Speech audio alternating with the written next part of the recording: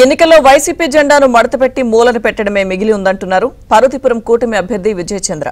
YCP అసమర్థ పాలనకు చర్మగీతం పాడేందుకు ప్రజలు సిద్ధంగా ఉన్నారంటున్న జయచంద్ర.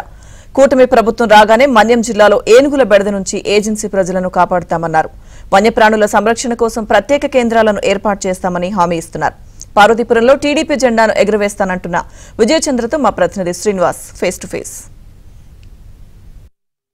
రెండు వేల ఇరవై నాలుగు సార్వత్రిక ఎన్నికలకు సంబంధించి అటు విజయనగరం జిల్లాలోను ఇటు పార్వతీపురం మన్యం జిల్లాలోను తెలుగుదేశం పార్టీ అభ్యర్థులు తమ ప్రచారాన్ని కొత్త పొంతలు తొక్కిస్తూ హోరెత్తించారు. గడప గడపకు తమ ప్రభుత్వం అధికారంలోకి వచ్చిన వెంటనే సూపర్ సిక్స్ పథకాలతో పాటు ఎన్డీఏ కూటమి ప్రవేశపెట్టబోయేటటువంటి మేనిఫెస్టోను పక్కాగా అమలు చేస్తామని అన్నారు. ఈ దశలో పార్వతీపురం అభ్యర్థి టీడీపీ అభ్యర్థి బోనల్ విజయచంద్ర ఉన్నారు. చెప్పండి ఈ ప్రచారం ఏ విధంగా సాగింది? ఇప్పుడు మిగిలినటువంటి కాస్త సమయంలో ఏ రకంగా మీరు ముగించబోతున్నారు ప్రచారాన్ని? ఇంతకు ముందు ఎన్నడూ లేని విధంగా పార్వతీపురం నియోజకవర్గంలో ప్రచారం మూడు దఫాలుగా ఇప్పటి వరకు జరగడం జరిగింది. మేము తొమ్మిది నెలల నుంచి ప్రచారం చేస్తూనే ఉన్నాం. ఇంటింటికి వెళ్తూనే ఉన్నాం. మన ఇంటికి విజయచంద్ర అనే ప్రోగ్రాం గుడ్ మార్నింగ్ పార్వతీపురం అనే ప్రోగ్రాం ప్రతి ప్రోగ్రాంలోని ప్రజలతోనే ప్రజలతోనే మమేకమై మేము ముందుకెళ్తున్నాం.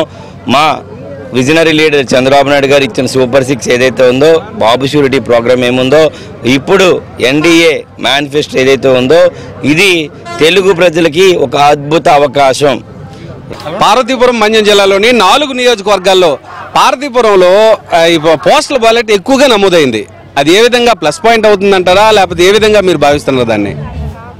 పార్వతీపురం ఇప్పుడు చుట్టుపక్కల ఉన్నట్టు కనేటికి కూడా అదే టౌన్ అండి.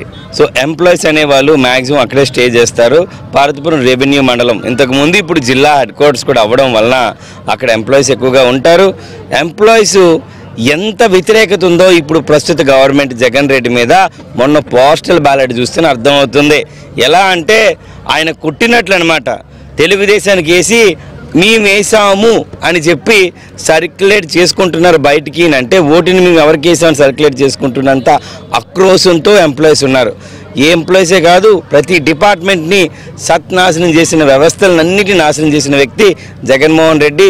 తిరిగి వ్యవస్థల్ని పునఃప్రారంభించాలన్నా వ్యవస్థల్ని తిరిగి స్థాపించాలన్నా బాగు చేయాలన్నా విజనరీ లీడర్ గొప్ప శ్రామికుడు చంద్రబాబు నాయుడు గారికే అవుతాదని ప్రజలు ఇప్పుడు నమ్మారు. ముగింపు సందర్భంగా మీ పార్వతీపురం నియోజకవర్గం ప్రజలకి మీరేంటి రిక్వెస్ట్ చేస్తారు? ఏ విధంగా వారికి అపీల్ చేస్తారు? పార్వతీపురం ప్రజలు విఘ్నులు.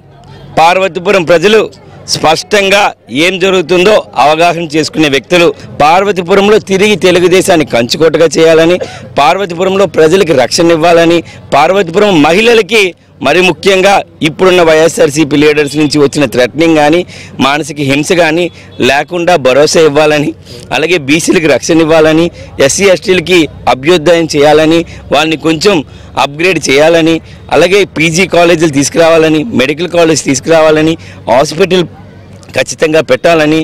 ఇక పార్వతీపురాన్ని అద్భుతమైన పార్వతీపురంగా ఎప్పుడూ పార్వతీపురం వెనుకబాటు జిల్లాగానే ఉంది.